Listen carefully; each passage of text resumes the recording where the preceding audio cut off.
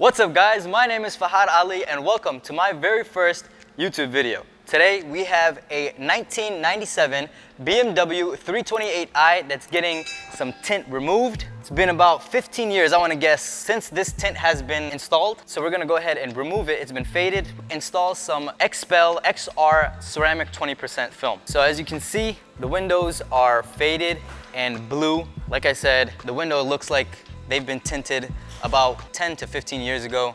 They're getting faded and it's peeling. So we're gonna go ahead and the first thing we're gonna do is get the steamer and remove this window tint. I'm gonna go ahead and roll this window down.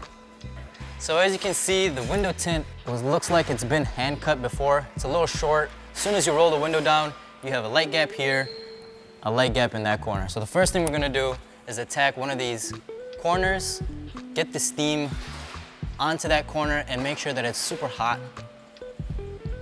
And then that residue will start to give out.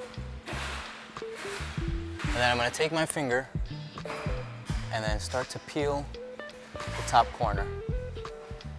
As soon as I get a little bit of film in my hand, boom, and the rest of it is just easy peasy.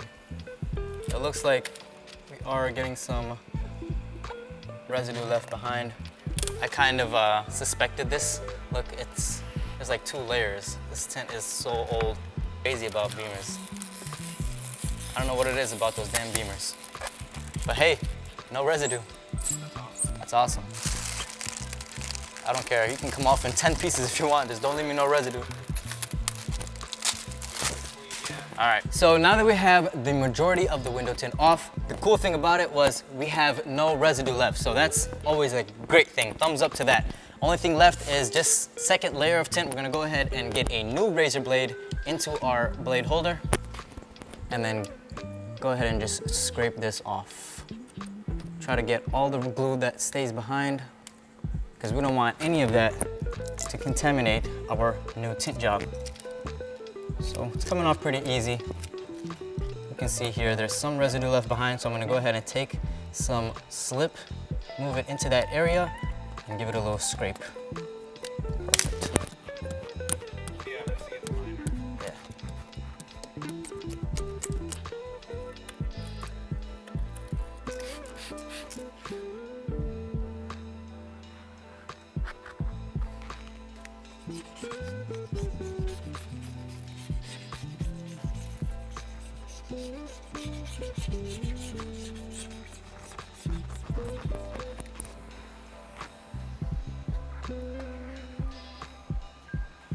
All right.